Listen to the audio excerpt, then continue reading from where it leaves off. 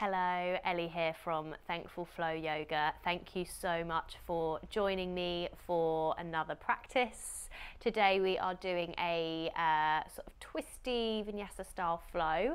Um, so there will be some kind of fun and dynamic transitions throughout the practice.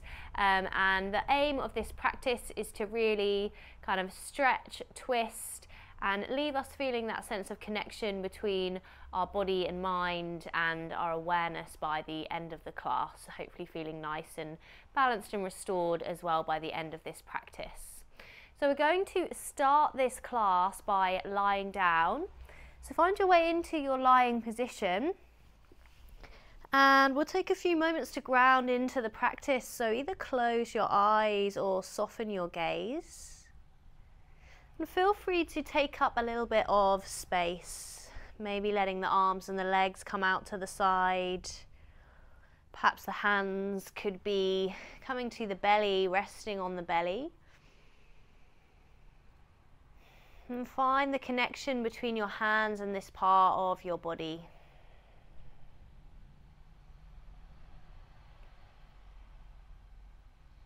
and becoming aware of your inhales and your exhales, start to notice the parts of the body moving with your breath.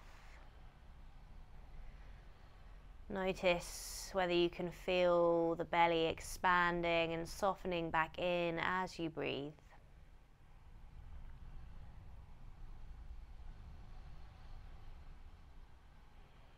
Notice where your body's connected to the ground. Notice where you are.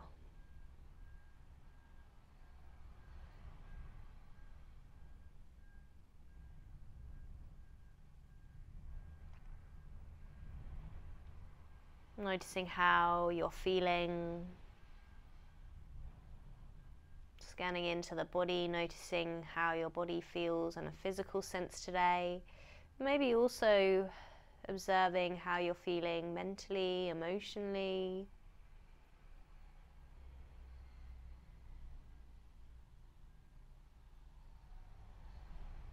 Seeing if you can really be with everything. Be with everything inwards and outwards.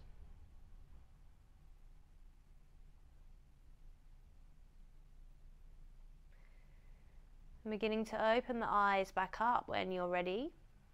And we'll take the knees in towards the chest, take a big hug and a couple of rocks from side to side. Notice which parts of the body rock against the ground and lift away.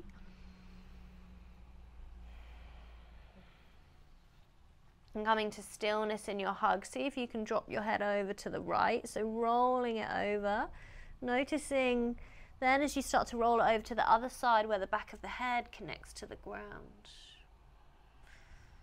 Seeing how this neck area feels and the shoulders.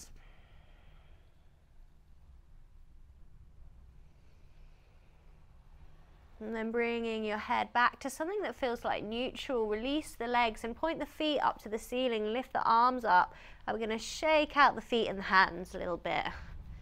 Just getting a little bit of energy moving. And you could think of this as kind of shaking off anything that is not needed here, anything that came before this practice. Shaking that off now. And then take your hands to the backs of the thighs, or you can let them drop down to the ground, whatever feels right for you, and start to take some rocks back and forth. So we're building up a little bit of momentum. So take a few of these and then we're going to rock up to seated. And as you come up, I want you to see if you can bend your right leg and have the left leg lengthen. And we're actually going to step this right foot to the outside of the left leg. So we're in um, almost kind of coming towards a half lord of the fish position with the legs, Ardha Matsyendrasana. From here, right hand's going to ground behind. Inhale, create some space, lift through the chest. And as you exhale, twisting to the right, left arm hugs the right knee. Take an inhale here, crown of the head reaches upwards. And as you exhale, find some softness. One more of those breaths. Inhale, find space, and exhale, soften. See if you can make these movements kind of blend into each other. So we're unraveling from the twist, coming back to center, and then rock yourself back. Can you switch over the legs as you come back up? So left leg's bent and we've stepped it over to the outside of the right thigh. And then we're rotating around to the left to find that twist. Right arm hugs the left knee. Take an inhale here, create space, and as you exhale, soften. Inhale, lifting. Exhale, softening. Begin to unravel, take a rock back, switch the legs over. So we're coming back to the other side, right leg's hooked over the left. Rotate to the right, find your twist. Unravel, rock back, switch the legs over again. Then we're rotating to the left, finding that twist. So we're going to be coming back to this sequence a few times in the practice. So rocking back once more and starting to maybe feel some of that energy building now. So right leg's over the top of the left, twisting to the right.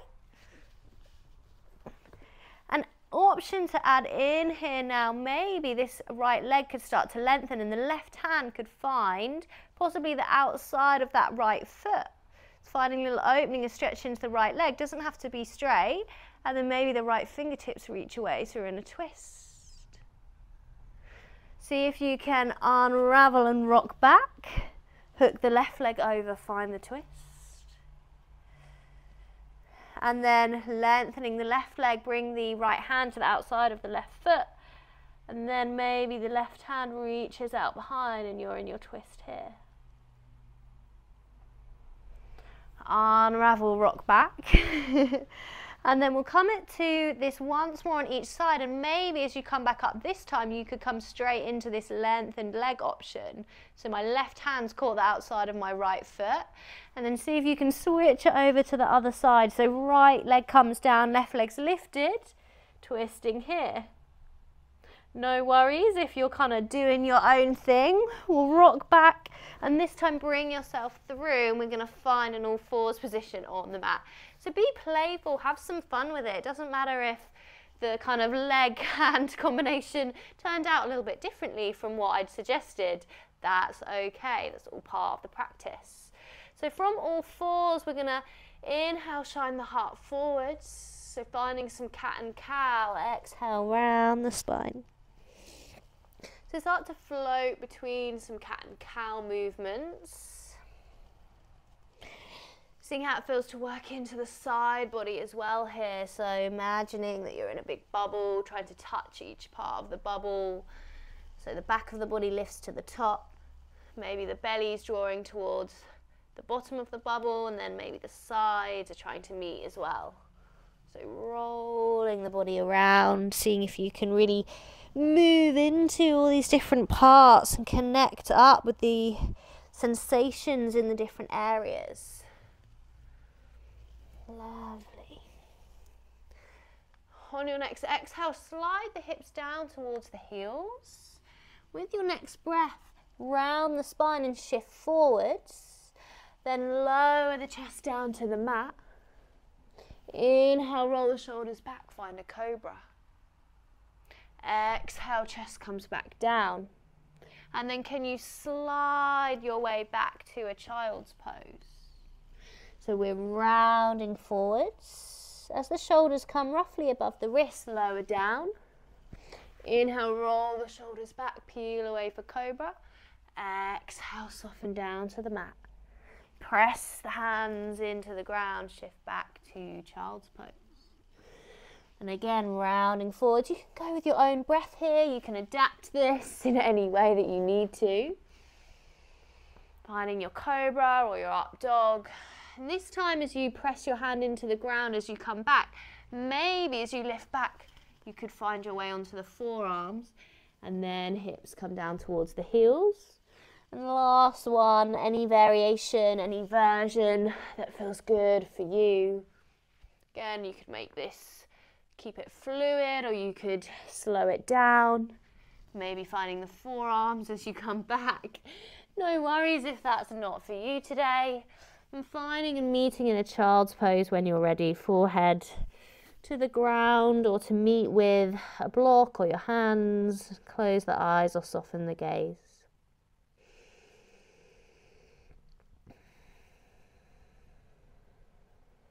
Take a moment to breathe and be here. Imagine being here with everything. Every layer of your being, everything going on within you, outside of you. Just being present with it. Not trying to change, not trying to do anything. Being with it, with everything. And we'll open the eyes back up, come back to all fours. Reach your right leg out behind and then sweep the right leg out to the side. Options are toes could be tracing the ground instead here. And then bring that right leg all the way to the top of the mat. Find lizard. Shine the heart forwards. See how it feels to come down to the forearms here. Take a little bit of movement, could be a gentle rock or sway from side to side, moving into the hip space. Then can you bring your right hand to the right thigh and send the gaze up towards the ceiling, finding an opening. Right shoulders rolling open. And then ground both hands back down to the mat. Either slide the toes or maybe, maybe the right leg lifts and sweeps all the way back around out behind and comes in. Well done. We'll take that onto the other side. So left leg reaches out behind, sweeps out to the side, all the way to the outside of the hands. Find lizard. Come down onto the forearms if that feels right for you. If not, hands are staying on the ground or could be on blocks. See if you can find some movement. Notice this left foot. See if you can redistribute the weight here into the outside edge and then maybe a little bit more into the inside. Notice what you notice. Notice how this affects the rest of the body. Can you bring that left hand to the left thigh and find an opening and a twist? A sense of the left shoulder rolling, open gaze comes up to the ceiling. Either stillness or any small movements, welcome. And then plant both hands firmly back down on the ground. Either slide the left foot or see if you can lift, sweep the leg back Coming out as you came in and then back to all fours. Well done. Tuck the toes under. Exhale, downward facing dog. Take a pedal out here through the feet, the legs, any movements you want to take. First downward facing dog of the practice. Could feel good to have some movement in the head and the neck. So you could imagine that with the crown of your head, you're tracing a little figure eight on the ground underneath. And just noticing how that feels, any little pops, any areas of tightness or resistance, becoming aware. And then coming back to some stillness in your downward facing dog. Inhale, look between the hands. Step or float your feet in. Lift the chest, lengthen the spine. Ardha Uttanasana, halfway lift. Exhale, fold forwards. Float between these two for a couple of breaths as you inhale, sense of lifting. Exhale, melting back down. Inhale, lifting.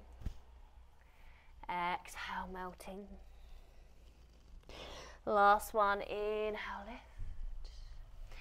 Exhale, bring your hands down to meet the ground. And step, float, jump back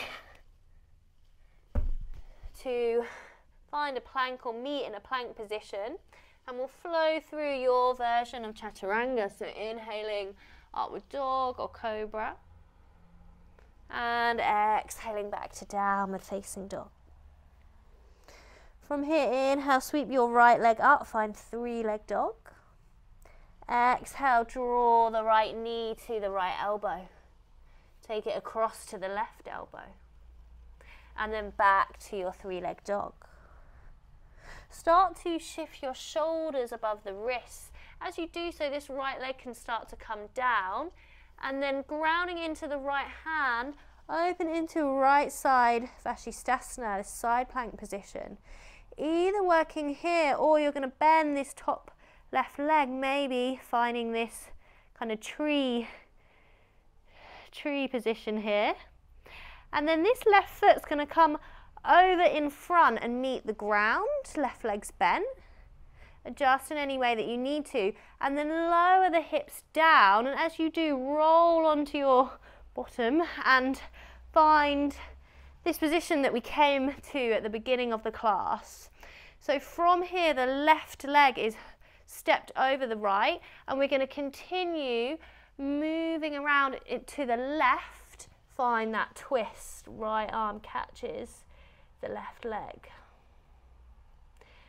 Unravel and start to spin your way over to the right. And so we're spinning back to where we started. Right hand meets the ground. Press the feet into the ground. Lift the hips. So we're back in Vashisthasana. And then keep on going as both hands come down to the mat and we're in this kind of folded position with the left leg at the front. Start to move here backwards and forwards. You can adjust this front leg in any way so you could step it a little bit further forwards if that feels good too. And then seeing Seeing what happens when you bring the weight into the front foot and then the back, finding some juicy kind of movement and opening into maybe the back of the left leg. And then we'll bring the weight back into your front foot, lift the back leg, hands into heart center, or they could be placed on blocks, fine, Virabhadrasana 3. Breathing here. Find your drishti, your focus. As you inhale, start to lift the chest. And we're going to sweep this right foot through, seeing if you can do, do it without it touching the ground. It doesn't matter if it, do, if it does. Right knee comes in towards the chest. Embrace the wobbles. From here, we're going to reach the left fingertips forwards and then reach your right fingertips back. Find a twist. Follow with the gaze. Inhale, start to reach both fingertips up to the ceiling as you come away from your twist.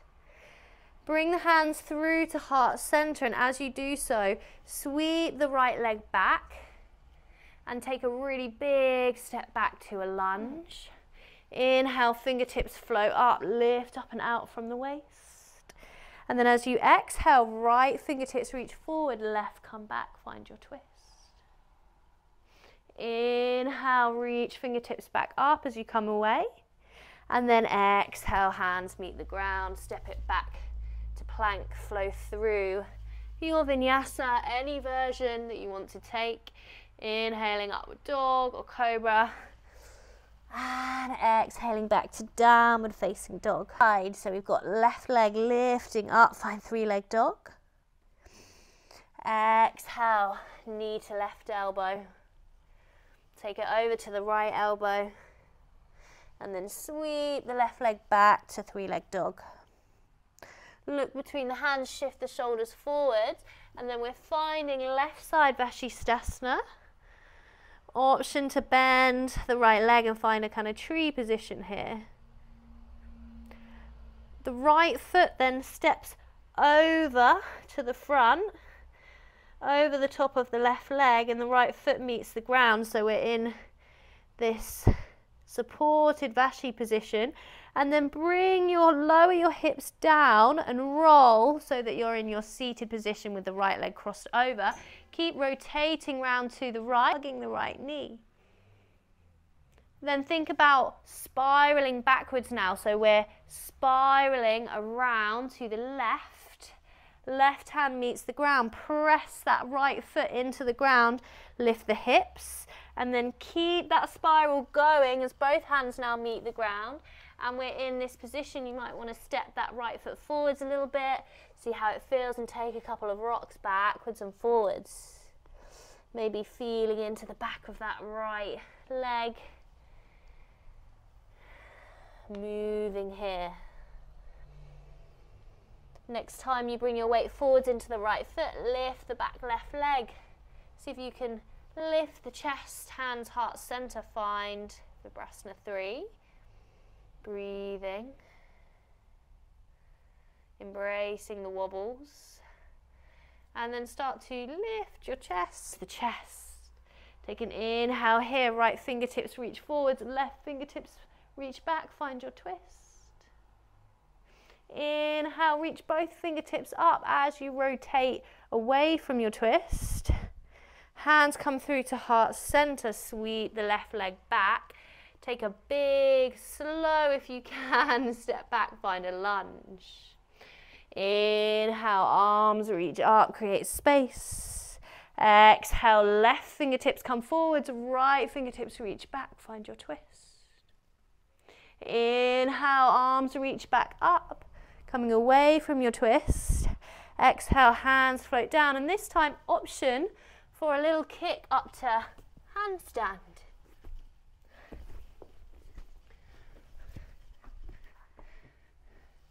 This time as the arms come down, option, if it's in your practice, to either take a standing split or maybe you're taking a little kick.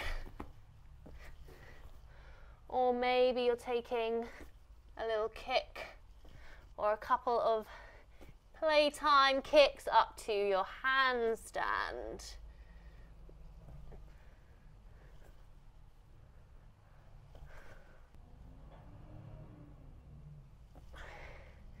Coming away from whichever version you might have come to, come back to plank, flow through your chaturanga, inhaling upward dog or cobra, and exhaling back to downward facing dog. Take a moment to breathe here, reconnect. Option to breathe in through the nose and breathe out through the mouth. Taking a big Releasing breath, a big sigh out. And then from here, we're going to shift the shoulders forwards. Find your way back to your right side Vashisthasana. And bring this left leg and step it straight out in front. Lower the hips down and rotate. Coming all the way round to the left, finding your twist. We're going to take this left hand back to the outside of sorry, right hand's to come to the outside of the left foot. Maybe the left fingertips reach back and you're in that twisted position. Now, option to either stay here or maybe, just maybe, the right leg starts to lift and we're in a little twisted Vashis, no, twisted Navasana boat pose here. so then start to release from your boat pose, let the leg and the foot come back down to meet the ground. Rotate around to the right. I said we were getting twisty in this flow, and we certainly are. So come back around, rotate around to bring both hands down to meet the mat. And take a big step back to downward facing dog. Well done. So take it to the other side. Inhale, shift the shoulders forwards. Left side Vashisthasana. Step this right foot in front to bring it to the ground. Lower the hips down and rotate into your twist to the right. Either staying here or the left hand's going to catch the outside of the right foot. Maybe the right fingertips can reach back. Maybe the left leg starts to lift. So you're in this kind of version of twisted Navasana boat pose. Breathing here. Lovely. Start to release and unravel. So coming around to the left, coming out as we came in, hips lift. Keep spinning all the way around and then come to meet back in your downward facing dog. Well done. Option here for either a couple of breaths in downward dog you can take a child's pose or you can take any final transitions that you want to take. You could be taking an inversion here. So options are pincha, some little hops to handstand or headstand. So a couple of breaths for you. Wherever you want to be. Option for a final final vinyasa if that's in your practice. If you want to take another vinyasa, you might be quite happy with the child's pose at this point. And then everybody meeting back in a downward facing dog.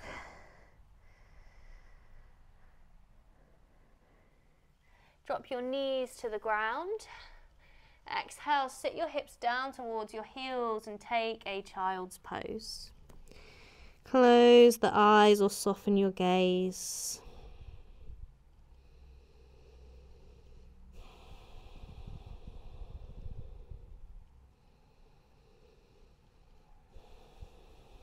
Feel the natural rhythm of your breath. Feel your body and where it meets the ground.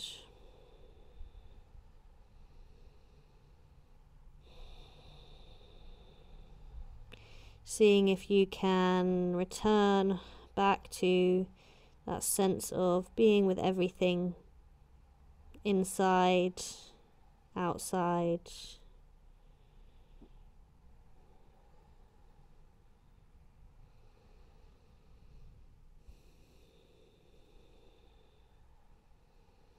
Connect with how you're feeling,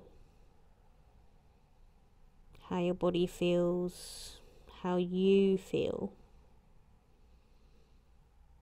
Be with everything.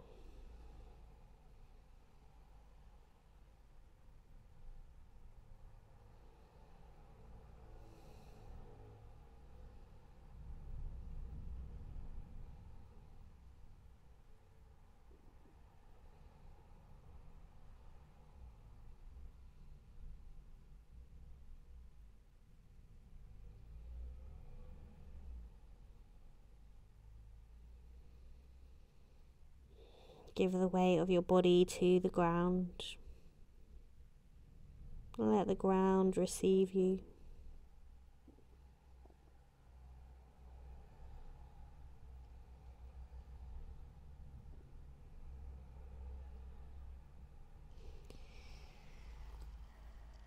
And start to slowly walk the hands in towards you, coming away from your child's pose back to any, any seated position that you'd like to take on your mat. And to close down the practice, just bring the fingertips or the hands to meet the ground. To honour being in this present moment. Gratitude for showing up on your mat today, doing this practice.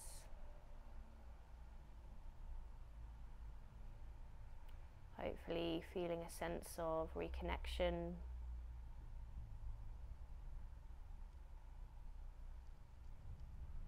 And coming back into the physical body when you're ready, opening the eyes as you come back into your space.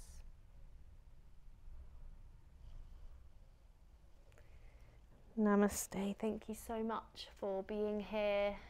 I hope that has left you feeling nicely twisted, stretched, strengthened, and reconnected today. Please do comment feedback to me on how you've got on and how you found that flow, how you found the transitions. Um, I always love hearing from you. And um, please do subscribe to this channel, it's completely free, or give it a thumbs up if you liked this flow. And I cannot wait to see you again for another flow very soon. Take care.